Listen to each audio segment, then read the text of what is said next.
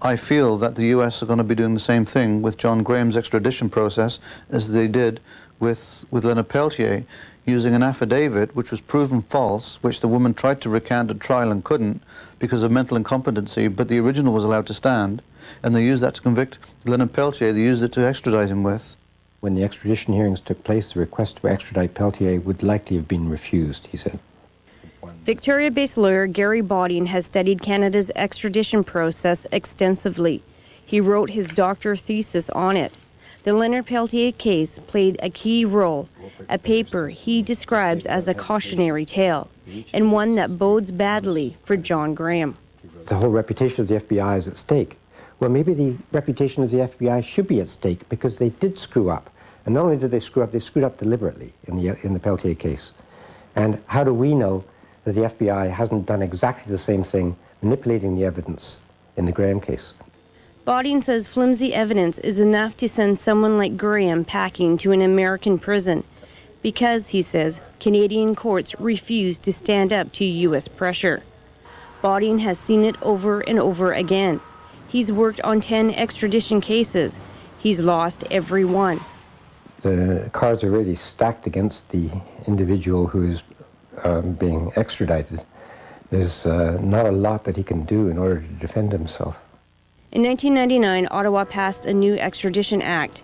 It was supposed to be fairer, stronger, allowing lawyers more options to fight to keep their clients in Canada. The first legitimate level where an individual gets a fair hearing in a court is at the Court of Appeal level with judicial review. Ultimately, the final say under the new act rests with just one person, the federal minister of justice.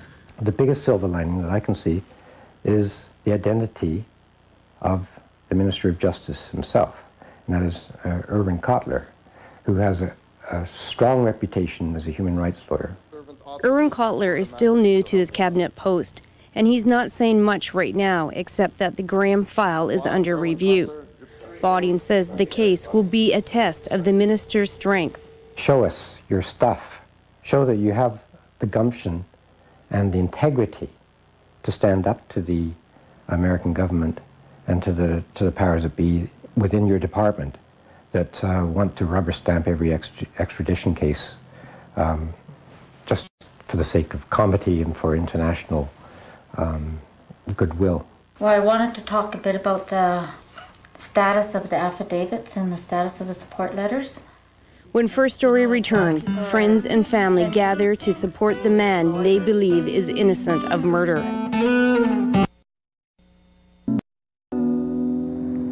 Okay, heads up, people.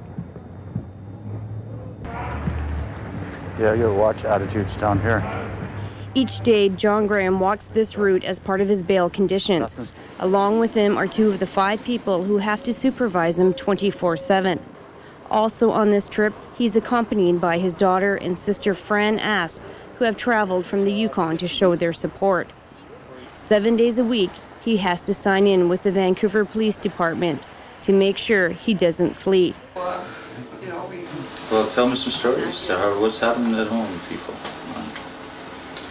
You don't want to know. What's who I've been meaning to? Where's Jolene up to? Under house arrest, John Graham meets with old friends and family, reminiscing and learning about the people from back home in the Yukon. Some are just visiting for the weekend, like his former partner, Viola Papaquash. I lived with John for 20 years, and um, yeah, he was probably always going to be his friend and, and part of his family. After John Graham left Pine Ridge and Wounded Knee, he took the teachings of AIM and continued its work throughout Canada. He met Viola in Saskatchewan. Any kind of First Nation issues or struggles that we talked about or made people aware of was uh, it was uh, Leonard's struggle and Anna Mae's struggle, I guess, and story was always was always part of that. There was never any question in my mind that, that AIM would ever be involved in anything like that, you know, especially for um, you know, killing one of their own. It just didn't seem, doesn't seem possible. This is called Heaven's Name.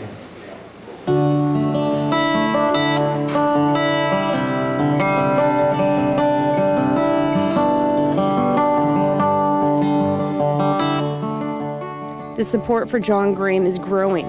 Friends and family are now in the process of raising money for his legal defense, not only in Vancouver, but throughout the world. Well, John was involved in, in what was one of the most fu- fundamental, uh, significant events and series of events that have occurred in contemporary times with Aboriginal people in North America. And it's just uh, ironic and in some ways unfortunate that John, I think, will be instrumental in the completion of much of this. But being wrongfully accused and being a part of the process, if it brings out more truth and knowledge about what happened back then, I think even John will agree it was worthwhile. What do I fear the most? Is that, well, definitely the truth will never come out. As John Graham breathes the fresh Pacific air, the reality of him being sent back across the border hangs over him like a death sentence. I guess lots of people have come out and said this and that and the other thing again, like, you know, people who weren't there. What, you know, like they're going on, what, hearsay? This is why, why I'm being put through what I'm being put through, why my family is being ripped apart on hearsay. That's not right. And, you know, and who are these people?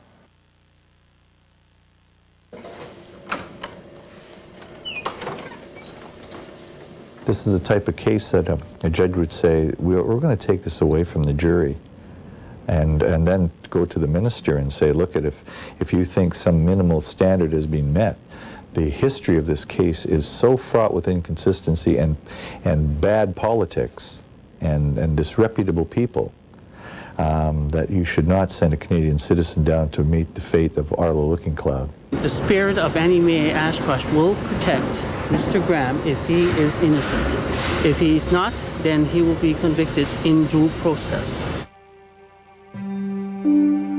In death, Anna Mae has accomplished much. Her memory is now the stuff of legend, a woman remembered for her strength and commitment to the struggles of Aboriginal people. As for John Graham, his future is uncertain. Is he the next Leonard Peltier? Perhaps only Anna Mae's spirit knows. John Graham is losing hope and running out of time, a man facing a final fight of a battle that started on the South Dakota grasslands so many years ago.